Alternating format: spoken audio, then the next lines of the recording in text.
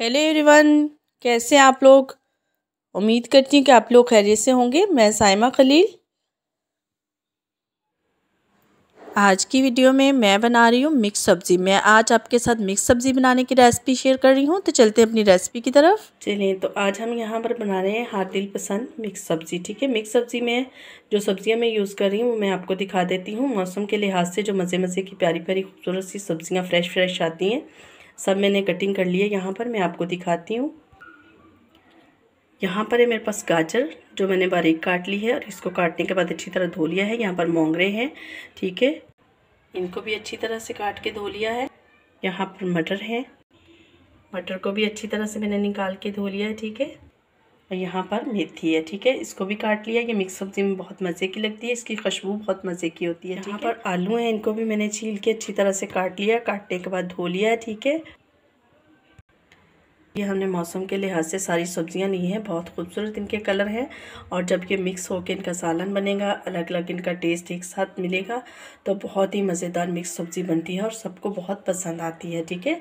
तो आज हम जो मिक्स सब्ज़ी बना रहे हैं सब्ज़ियाँ तो मैंने आपको दिखा दी हैं और यहाँ पर मैं इनके बीच डालने वाले जो खुश्क मसाले हैं, वो भी आपको दिखा देती हूँ। यहाँ पर मेरे पास है टू टीस्पून लाल मिर्च हाफ़ टी स्पून हल्दी पाउडर वन टीस्पून नमक, ठीक है? और हाफ़ टी स्पून मेरे पास ज़ीरा पाउडर हाफ़ टी स्पून धनिया पाउडर। यहाँ पर हाफ़ टी स्पून गर्म मसाला है, ठीक है? कटा हुआ धनिया है, अदरक के, ठीक है? और यहाँ पर कुटा हुआ लहसुन अदरक है, ठीक है? यहाँ पर मेरे पास प्याज है और इसको मैं चॉप करूँगी। और प्याज के साथ ही हम हरी मिर्च और टमाटर को भी चॉप कर लेंगे, ठीक है? अब सबसे पहले हम चॉप करने का काम कर लेंगे। एक एक पीस इसमें डालेंगे, क्योंकि मैंने बारीक कटिंग करके रख ली है। तो इसके साथ हम इन सबको चॉप कर लेंगे, ठीक है? सॉरी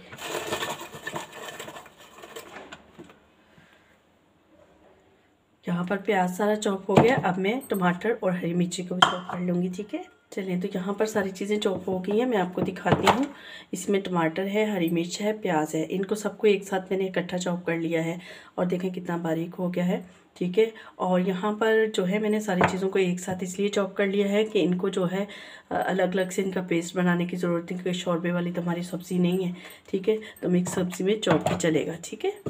अब बनाना स्टार्ट करते हैं। यहाँ पर बनाने के लिए जो है, आप सब जानते हैं कि हमारे पास जो है ना चूल्हे में गैस नहीं आता है तो जिसकी वजह से हमें सिलेंडर यूज़ करना पड़ता है। तो काउंटर से हट के मैं सिलेंडर पे बनाना स्टार्ट कर रही हूँ, ठीक है? यहाँ पर मैं कढ़ाई में एक कप के करीब ऑयल लूँगी, ठीक है?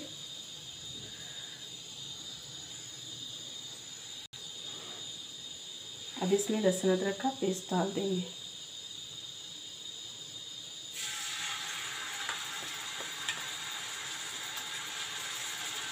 अच्छा सा ब्राउन कर लेंगे।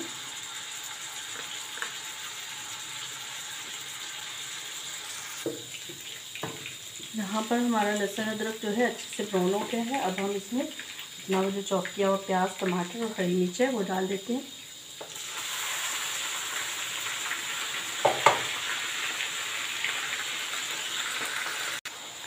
इसको भी थोड़ा ब्राउन होने देंगे।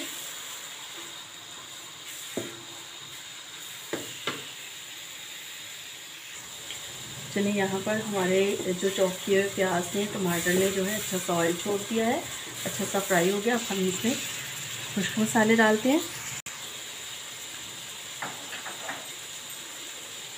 लाल मिर्च पाउडर, हल्दी पाउडर, नमक। इन सबको भून लेते हैं इनके साथ। और लाल मिर्च को भूनने के लिए थोड़ा सा इसमें पानी डाल दूँगी। ताकि ये अच्छी तरह से कच्ची ना रहे, अच्छी तरह से पक जाए, ठीक है? इसके साथ अब इसको भुनने देंगे अच्छा सा।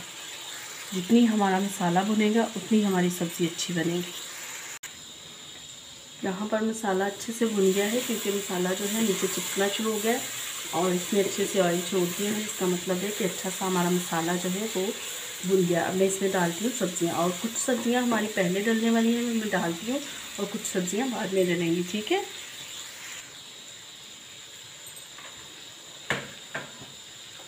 आलू डाल देती हूँ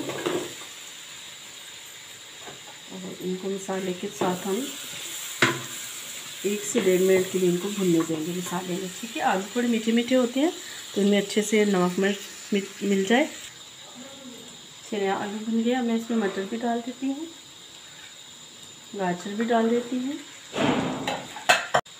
और मूंगरे भी डाल देती हूँ, ठीक है?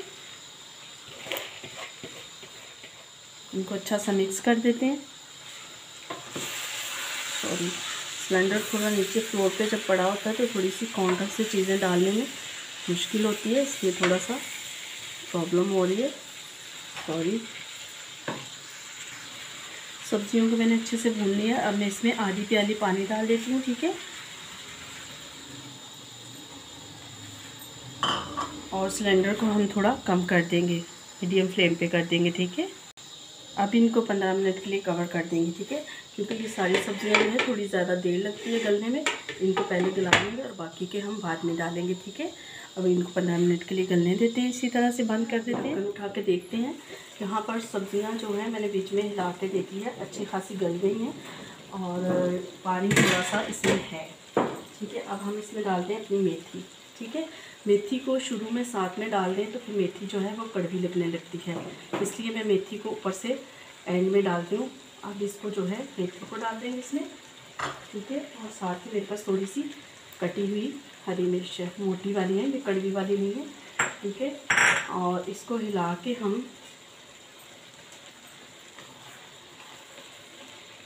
थोड़ा कवर कर देंगे पाँच मिनट के लिए, ताकि मेथी में भी जो मसाले हैं, वो रच रच जाए। अभी हम इसको पाँच मिनट के लिए और कवर करेंगे। चलिए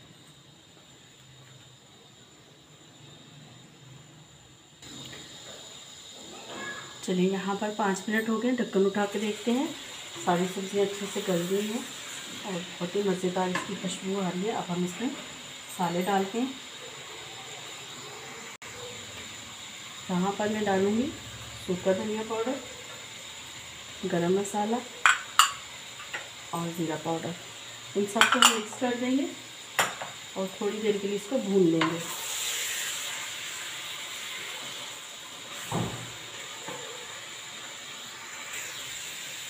साथ ही हम हरा धनिया डाल देंगे। अच्छी सी खुशबू के लिए, ठीक है?